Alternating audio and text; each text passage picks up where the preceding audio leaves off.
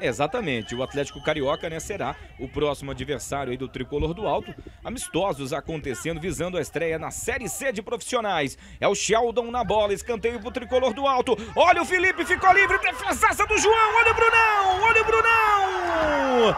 Gol!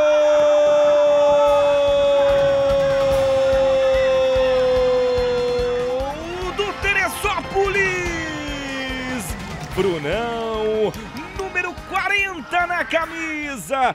Confira no replay. O Sheldon jogou essa bola para a área no escanteio. João, que defesa do João.